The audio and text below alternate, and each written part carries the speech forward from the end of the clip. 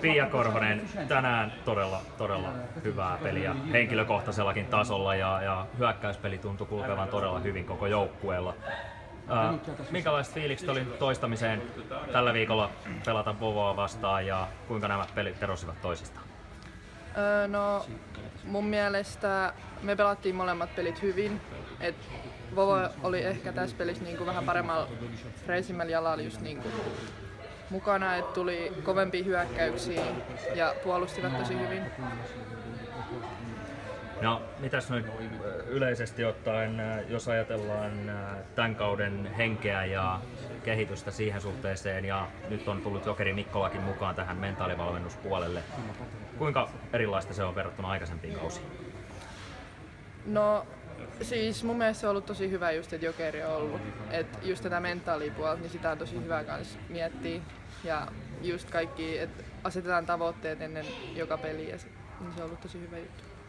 Kiitos ja oikein hyvää viikonlopun jatkoa. Kiitos.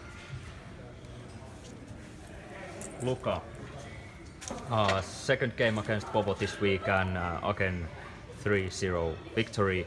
Uh, what was the key for success to tonight? For sure the service. We served very well and in all the rotations, so we were able to control their side out with our block defense. And then we were regular inside out, so I think we played a good match. I'm satisfied. Uh, next week we still have Salo in home before the playoff starts. Uh, what are you looking for oncoming game, the last game of the season? Well, for sure it's good that we play against uh, Salo because it's going to be a tough match. And tough matches like tonight's one is what we need to arrive mentally ready to the playoffs. So it will be a very good test for us. Thank you, Luka. You're welcome.